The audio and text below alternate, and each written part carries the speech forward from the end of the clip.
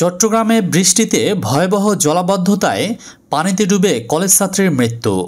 অন্যদিকে কক্সবাজারের পাহাড়ি ঢলে প্লাবিত ষাটটি গ্রাম, নিখোঁজ এক। এ বিষয়ে বিস্তারিত থাকছে আজকের এই ভিডিওতে। চট্টগ্রামে টানা বৃষ্টিতে সৃষ্ট বন্যার পানিতে তলিয়ে যাওয়া সড়ক পার হতে গিয়ে পানিতে ডুবে এক কলেজ ছাত্রীর মৃত্যু হয়েছে। হাটাজির উপজেলার নন্দিরহাট এলাকায় সোমবার সকালে এ ঘটনা ঘটে। প্রাণ হারানো একুশ বছর বয়সী নিপাপালিত হাটাজারি কলেজের ডিগ্রি দ্বিতীয় বর্ষের ছাত্রী। নিপার ফুফতো ভাই জয় ঘোষ বলেন, ডিগ্রি দ্বিতীয় বর্ষের পরীক্ষা চলছিল আমার বোনের। পরীক্ষার কেন্দ্র পড়েছে ফটিকছড়ির নাজিরহাট কলেজে।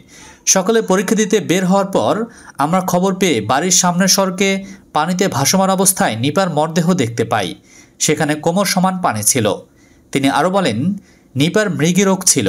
ধারণা করা হচ্ছে পানি পার হওয়ার সময় মৃগী রোগের কারণেই ডুবে যায়। খবর পেয়ে হাটাজারি থানার পুলিশ ছাত্রীর মরদেহ উদ্ধার করে ময়নাতন্ত্রের জন্য পাঠায়। থানার পরিদর্শক নুরুল আলম বলেন, প্রাথমিকভাবে জানতে পেরেছি বাড়ির সামনের সড়কে পানিতে ডুবে তার মৃত্যু হয়েছে। কিন্তু অস্বাভাবিক মৃত্যু হওয়ায় আমরা মরদেহটি চট্টগ্রাম মেডিকেল কলেজ হাসপাতালে ময়নাতন্ত্রের জন্য পাঠিয়েছি। অন্যদিকে টানা ভারী বর্ষণ ও পাহাড়ি ঢলে কক্সবাজারের কয়েকটি উপজেলায় বন্যা দেখা দিয়েছে। জেলার চকরিয়া, পেকুয়া, রামু ও সদর উপজেলার পনেরোটি ইউনিয়নের ষাটটি গ্রাম প্লাবিত হয়েছে। মাতামহরী ও বাঘখালী নদীর পানি বিপদসীমার উপর দিয়ে প্রবাহিত হচ্ছে। মাতামহরী নদীতে ঢলের পানির সাথে আসা লাকড়ি সংগ্রহ করতে গিয়ে নদীর লক্ষারচর পয়েন্টে স্রোতে ভেসে নিখোঁজ হয়েছে এক যুবক। রোববার রাত থেকে পাহাড়ি ঢলের পানি বৃদ্ধি পেয়েছে।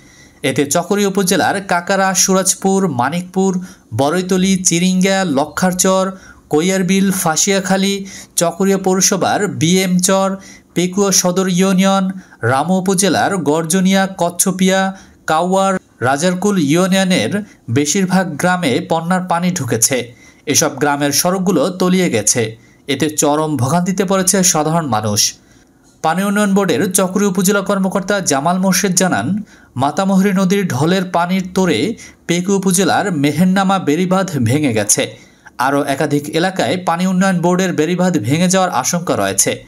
চকরি উপজেলার নির্বাহী কর্মকর্তা জেপি দেওয়ান জানান, পাহাড়ি ঢলে নদী ভাঙনের আশঙ্কা রয়েছে।